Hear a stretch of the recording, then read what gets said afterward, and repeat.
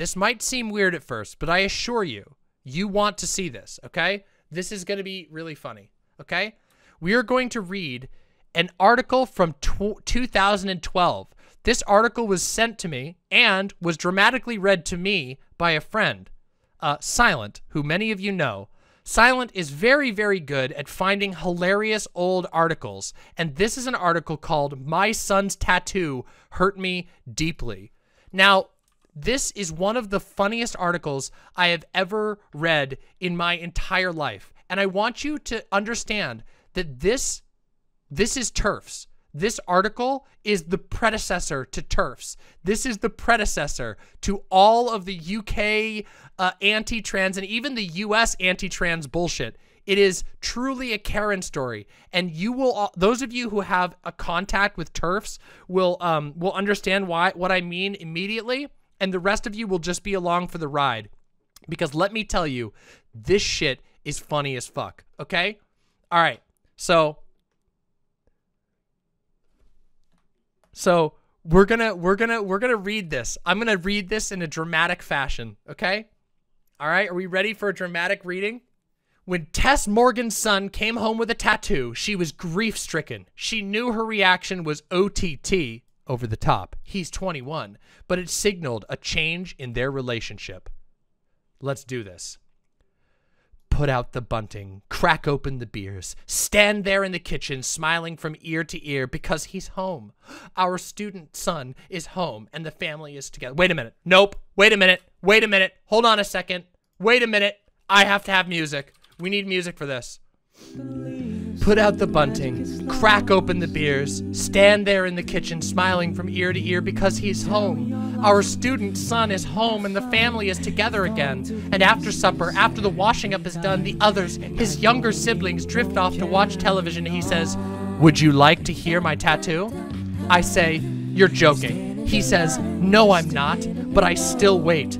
Any minute he's gonna laugh and say, You should see your faces, because this man has been this has been a running joke for years. The idea of getting a tattoo, the hard man act, the iron muscles. You want me to do a British accent?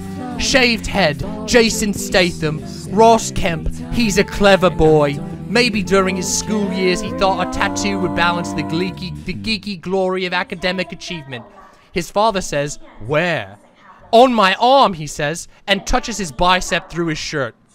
His lovely shoulder. In the silence, he says, I didn't think you'd be this upset. After a while, he says, it was just a drunken whim. I thought about it. I went to a professional. It cost $130. It wasn't just a drunken whim. My bad. 150 euro, pounds, sorry, 150 pounds, I think, briefly, of all the things I could buy with 150 pounds. It's just a tattoo, he says, with the silence goes on so long that we have nearly fallen over the edge of it into a pit of black nothingness. It's not as if I can I came home and said I'd got someone pregnant. It seems to me, unhinged by shock, that this might have been the better option. His father asks, Does it hurt? Yes, I say, cutting across this male bonding, it does, very much. For three days, I can't speak to my son. I can hardly bear to look at him. I decide this is rational. The last thing we need, I think, is an explosion of white hot words that everyone carries around for the rest of their lives engraved on their hearts. In any case, I'm not even sure what it is I want to say. In my mind's eye, I stand there, a bitter old woman with pursed lips, wringing my black gloved hands. He's really done the one thing I've said for years. Please don't do this. It would really upset me if you did this. And now it's happened. So there's nothing left to say. I know you can't control what your children do. Why would you want to anyway? If you controlled what they did, you'd just pass on your own rubbish tip of imperfections. You hope the next generation will be better, stronger, more generous. I know all you can do as a parent is pack their bags and wave as you watch them go. So I cry instead. I have a lump in my throat that stops me from eating. I feel as if someone has died. I keep thinking of his skin, his precious skin, inked like a pig carcass. My neighbor says there's a lot of it about. So many teenagers are doing it. I stare at pictures of David Beckham with his flowery sleeves, Angelina Jolie all veins and scrawls. Tattoos are everywhere. They seem no more alternative than piercings these days, but I still don't understand. Sam Cam with her smuzzy dolphin, the heavily tattooed at Royal Ascot. These people are role models? My niece had doves tattooed on her breast, says a friend, and her father said, You wait, in a few years' time, there'll be vultures. It's the permanence that makes me weep, as if the Joker had made face paints from acid. Your youthful passion forever on display like a CD of the Smiths stapled to your forehead. The British Association of Dermatologists recently surveyed just under 600 patients with visible tattoos. Nearly half of them had been inked between the ages of 18 and 25, and nearly a third of them regretted it. I looked up laser removal, which is a possibility, I think miserably, that only works if you want a tattoo removed. And I'm not in charge here. My son is. My husband asks, Have you seen it yet? I shake my head. Like a child, I'm hoping that if I keep my eyes tightly shut, this whole thing will just disappear. It's his body, he says gently. His choice. Bazinga! But what if he wants to be a lawyer? A lawyer? Or an accountant? Well, he'll be wearing a suit. No one will ever know, and he doesn't want to be a lawyer or an accountant. Oh, I know, I know. I meet a colleague for lunch. He knew how much it would hurt me, I say, tears running down my face. For years, I've said, don't do it. It's there for you even after you've changed your mind about who you are and what you want to look like. You're branded like meat. It can damage your work prospects. It can turn people against you before you've even opened your mouth. She says, tell him how you feel. But I can't. For a start, I know I'm being completely unreasonable. This level of grief is absurd. He's not dying. He hasn't killed anyone. He hasn't volunteered to fight on behalf of a military dictatorship. But I feel as though a knife is twisting in my guts. I get angry with myself. This is nothing but snobbery, I think, latent anxiety about the trappings of class, as if my son had deliberately turned his back on a light Victoria sponge and stuffed his face with cheap donuts. I am aware, too, that I associate tattoos on men with aggression, the kind of arrogant swagger that goes with vest tops, dogs on chains, and broken beer glasses. Is this what other women feel, or perhaps, I think, with an uncomfortable lurch of realization, just what older women feel? I stand, a lone Tyrannosaurus, bellowing at a world I no longer understand. Tattoos used to be the preserve of criminals and toffs and sailors. In the 1850s, the corpses of seamen washed up on the coast of North Cornwall were strangely decorated with blue, according to Robert Hawker, the vicar of Morwenstow. Initials or drawings of anchors, flowers or religious symbols. Our blessed Savior on his cross with one hand on his mother and on the other St. John the Evangelist. It's their object and intent when they assume their signs to secure identity for their bodies if their lives are lost at sea. Tattoos then were intensely practical, like brightly colored smit marks on sheep. Perhaps even then this was a, a fashion statement, a badge of belonging, or just what you did after too much rum. Later, the aristocracy flirted with body art. According to the National Maritime Museum in Greenwich, they know a lot about tattoos. Edward VII had a Jerusalem cross on his arm, while both his sons, the Duke of Clarence and the Duke of York, later George V, had dragon tattoos. Lady Randolph Churchill, Winston's mum, had a snake on her wrist. But you can do what you like if you're rich. On day three, still in a fog of misery, I say to him, Shall we talk? We sit down with cups of coffee. I open my mouth to speak and end up just crying instead. I say, You couldn't have done anything to hurt me more. He's cool and detached, he says. I think you need to re examine your prejudices. I think, but I have. I've done nothing else for three days, but I don't say that because we aren't really talking to each other. These are rehearsed lines, clever insults flung across the dispatch box. This is what comes of not exploding in anger in the heat of the moment. That, that gets a sus from me. Sorry, that gets a big sus from me. Sorry. I say, why couldn't you have waited until you left home? Why now when you're living here half the year? It's something I've been thinking about for a long time. There didn't seem to be any reason to wait. Which makes it worse. I'm an adult, he says. I paid for it with my own money, money I earned. But we're supporting you as well, I think. As far as I know, you don't have separate bank accounts for your various income streams, so who knows? Maybe we paid for it. If you don't want to see it, that's fine. When I'm at home, I'll cover it up. Your house, your rules. In my head, I think, I thought it was your house, too.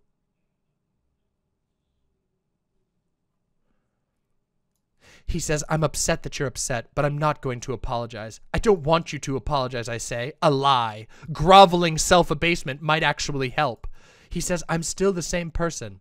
I look at him, sitting there, my 21 year old son. I feel I'm being interviewed for a job I don't even want. I say, But you're not. You're different. I will never look at you the same way again. It's a visceral feeling. Maybe because I'm your mother. All those years of looking after your body, taking you to the dentist and making you drink wil- milk, and worrying about leafy green vegetables and sunscreen and cancer from mobile phones.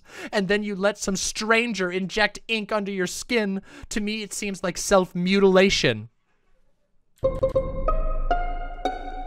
If you'd lost your arm in a car accident, I car, your arm in a car accident, I would have understood. I would have done everything to make you feel better, but this this is desecration. We look at each other. There seems nothing left to say. Over the next few days, my son, always covered up, talks to me as if I as if the row had row had never happened. I talk to him too, but warily, because I'm no longer sure I even know him. And this is when I realized that all my endless self examination was completely pointless. What I think or don't think about tattoos is irrelevant because this is the point. Tattoos are fashionable, they may even be beautiful. Just because I hate them doesn't mean that I'm right. But by deciding to have a to- tattoo, my son took a meat cleaver to my apron strings. He may not have wanted to hurt me. I hope he didn't. But my feelings, as he made his decision, were completely unimportant. The stars are not wanted now. Put out every one, pack up the moon, and dismantle the sun. I am redundant, and that is a legitimate cause of grief, I think.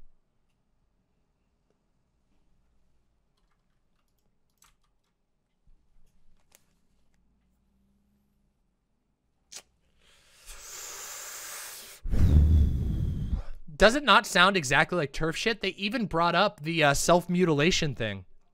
All of this over a tattoo. Unironically sounds like a kid decided to like chop his own head off for a... Uh... No, they never say what the tattoo is of. They never even say what it was. They didn't say what it was. We don't know what it was. We never find out. It's the same fundamental impulses. This idea that like if I find it distasteful and you don't agree with me, you're offend you're like personally attacking me because you decided differently than I. It's literally like and also like I Let's just be real. Like straight up here, there's like multiple areas where uh where she clearly states that like she associates um tattoos with uh, aggression, arrogant swagger that goes with vest tops, dogs on chain chains, and broken beer glasses. Tw- I would be willing to put money on the fact this person is a TERF these days. I love this article. This article is great. Oh, by the way, um, just so you all, just so you all know, if I was an editor, I would also publish this article because it's so funny that there's no way I can't like a person a person who writes an art who writes a letter like this is either fake in the first place or um is is somebody who is so um lacking in self-awareness that I I can think of no other way for them to learn a lesson except for to write a letter and have everyone disagree with them. You know what I mean? Like how else do you teach somebody who's convinced that their son uh, like like violated their relationship and that their son is a literal different person just because he got a small tattoo on his arm?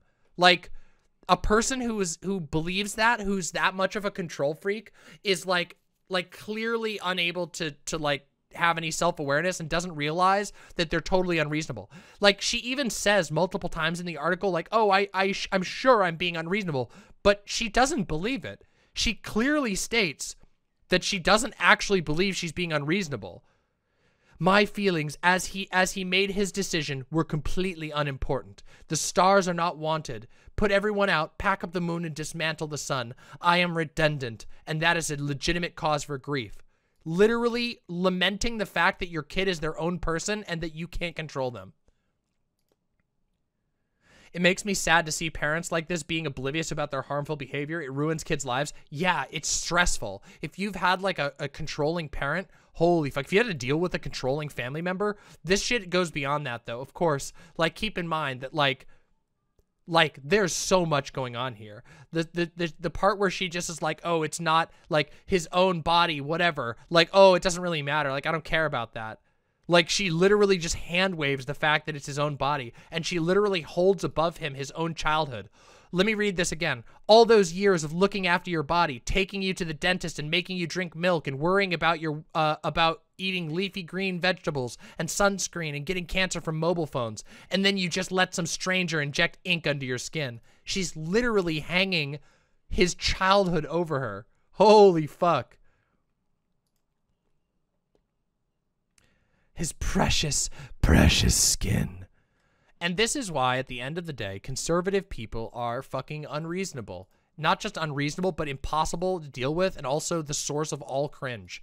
Conservative parents who are like, no, don't get a tattoo. No, don't be gay. Oh, they're the worst people on the planet.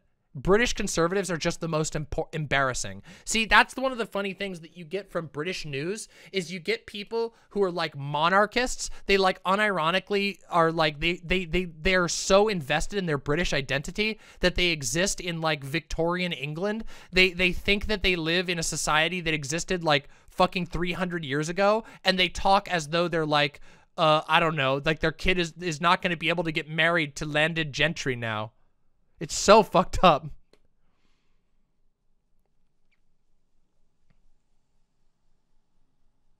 This is literally, Lady Hopium says, this is literally the kind of shit my mom said. After all those years of me giving birth to you, taking care of you, you were my little boy. How can you get rid of your penis? Like, bitch, my penis is none of your goddamn business. Oh, trust me. I've encountered this all like a million times. Like fucking the fucking, uh, oh, you, I don't even know you anymore. I'm like, I'm just taking hormones and changing the way that I dress. And that's about it. Nothing else. And then they're like, I don't know who you are. You're an alien to me. It's like, bro, what the fuck? Oh, God, it's so embarrassing. I just thought this was such a, a, fucking amazing article. I thought it was so fucking funny. Like, there's just so many moments. Perhaps this was even then, this was a fashion statement, a badge of belonging, or just what you did after too much rum. That's so fucking funny. Okay, come on, that was good. You guys got to admit that was a that was a fucking fun article. By the way, if you guys ever come across articles like this that are like worthy of of dramatic readings, please send them to me. I love doing dramatic readings of absurd positions. So please. No, this is from 2012. Not 2002. 20 fucking 12. Gayfesh says, um, when I stopped being a Christian, I had to explain to my dad that I had not, in fact, died and been replaced with a changeling. He actually argued against that. Oh my God. Elac says, my mom said that I killed her daughter. Well, uh, that's fucking stupid. That's also, by the way, that's also what my one of my exes said that to me, and so did one of my family members. I won't say which one, okay? It's so common. It's so fucking common. It's so embarrassing.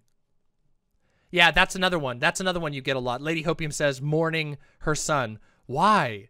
I don't know why trans I don't know why cis people view trans people as literally killing somebody. It's the weirdest shit in the world. Uh, do we DM you or is there a section of Discord we can submit to? There is a section on Discord. On the Discord, there is a channel that is called right here. It is called content. Wait, where'd it go? It is called content recommendations. Content recommendations is where you should drop things. I check content recommendations every once in a while.